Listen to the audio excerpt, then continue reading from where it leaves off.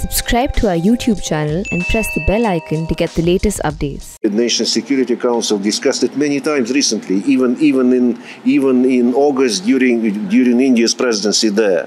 So it's uh, so it's a matter of, of concern. What what is it that the two of us need in Afghanistan? Security, predictability, inclusive government.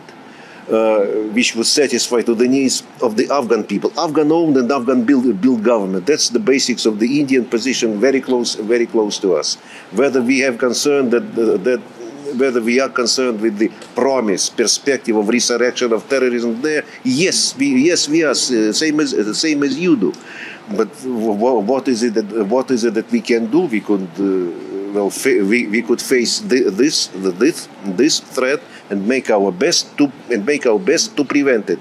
Situation in and around Afghanistan included.